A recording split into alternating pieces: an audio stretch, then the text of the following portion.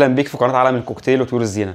الفيديو ده أنا بعتبره من اهم الفيديوهات اللي موجودة على القناة ولا تقل اي اهمية عن اي فيديو تعليمي عملناه أو اي موضوع اتكلمنا فيه.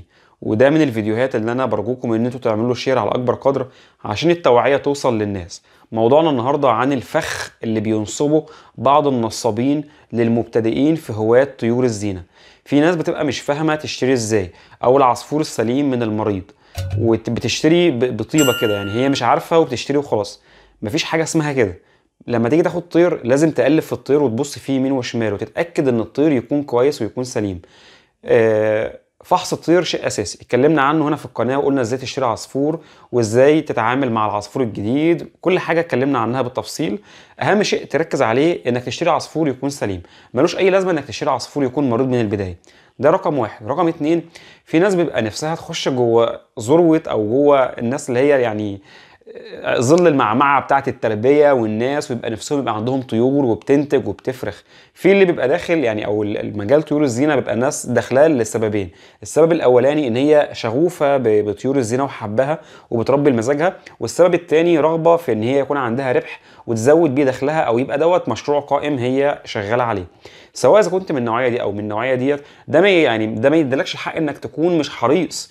لازم تكون حريص مع أي حد بتتعامل معاه وتبقى عارف مين الشخص ده إزاي بتتحرك وبتدفع فلوس لواحد وأنت ما تعرفوش. لازم شخصية يكون مشهود لها بالأمانة عشان تعرف تتعامل معاه. أنا على سبيل المثال لما حد بيكلمني يطلب مني طير إيه والله عندك طير طب ماشي تعال شرفني نتفرج عليه.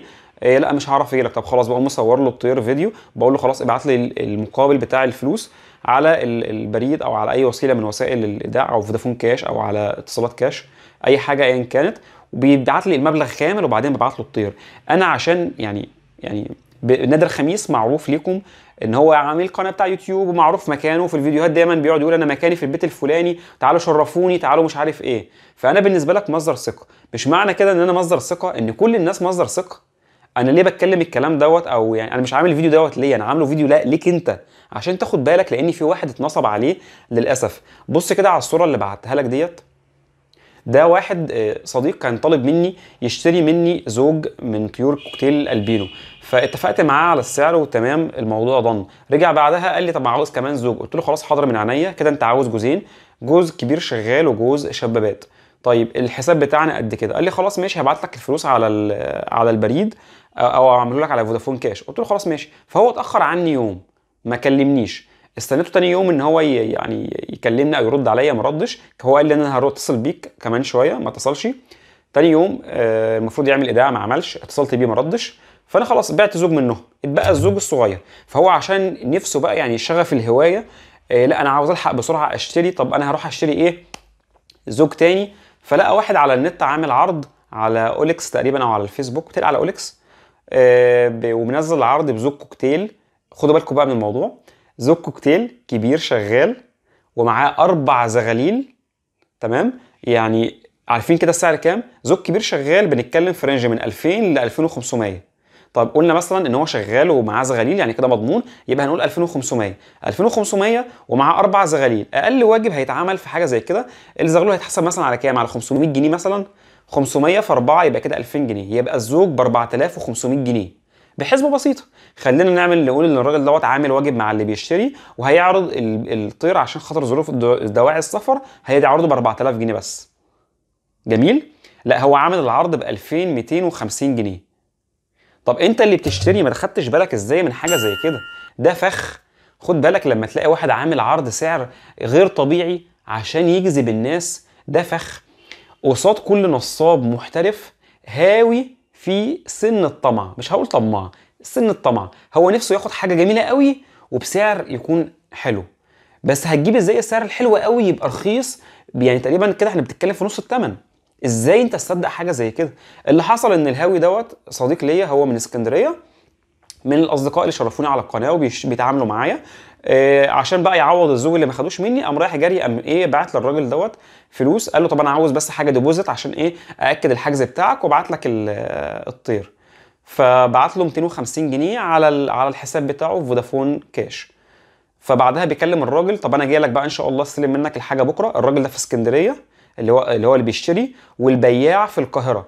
قال له خلاص أنا مكاني مش عارف في, في, في أكتوبر فلو عاوز تيجي تشرفني تعالى. فتاني يوم بيكلمه بيقول له خلاص أنا هركب وأجي لك. قال له لا ما تركبش وتيجي. أنا النهارده نازل الإسكندرية على الساعة 6 عشان إيه؟ عشان ينيمه يه- يهبطه قال له خلاص ماشي رج- رجع تذكرة القطر بعد ما كان اشتراها و- و- وقعد قال الحمد لله القطر هيجي لي لحد عندي. وقعد مستني. طبعا الراجل دوت هو بي- هو بيكلمني بيقول الحمد لله والله يا باشمهندس ربنا رضاني وجبت الجوز وبتاع. قلت له جبت جوز من مين؟ قال لي من واحد والله في القاهرة. طب انت عارفه؟ لا ما اعرفوش. طب انت طمنت له إزاي؟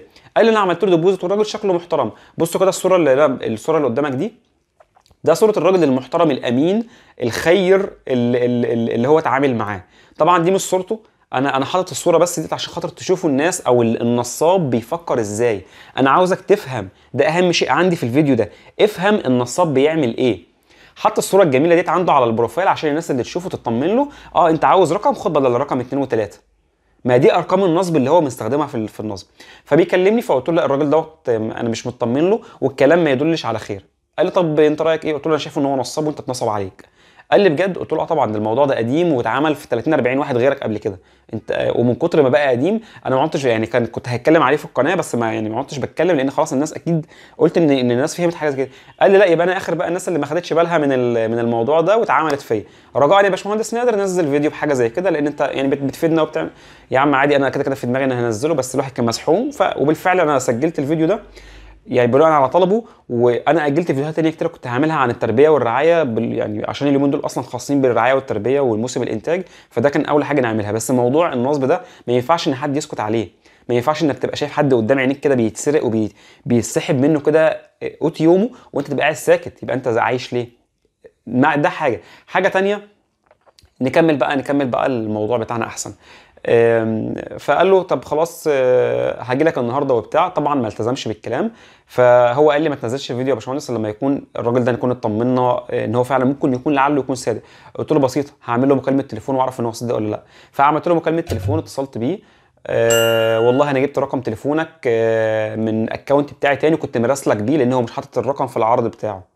وعاوز أشتري منك جوز يكون كوكتيل الألبينو شغال. قال لي والله أصل الراجل اللي أنا هبعت له الطير آه، هيبعت لي النهارده آه، عربون للفلوس. فلو ما بعتش العربون مش هديله حاجة. خدت بالكم؟ عربون تاني. أم آه، ده واحد تاني بقى هو تقريبا بينصب على حد. طب هو الراجل اللي مكانه فين؟ اللي انت هتشتري منه؟ أنا ممكن أجي لك أخده منك دلوقتي. قال لي لا أصل ما ينفعش إن أنا أبيع بيعه وواحد متكلم معايا فيها وده ما يرضيش ربنا ولا يرضي الرسول. إحنا مسلمين. ما ينفعش نعمل حاجة زي كده. ملهاش دعوة بمسلم ولا مسيحي. أنت نصاب أنت حرامي أنت ايا كان ديانتك إيه؟ أنت نصاب ملهاش علاقة. ما حدش ياخد إيه ويتغر بالمنظر والزبيبة اللي في بتاعه الصلاة والكلام ده يقول ده راجل محترم. انسى الكلام ده. الصورة أصلا اللي أنتوا شفتوها دي ممكن ما تكونش صورته. دي ممكن تكون صورة حد تاني أصلا هو عاملها.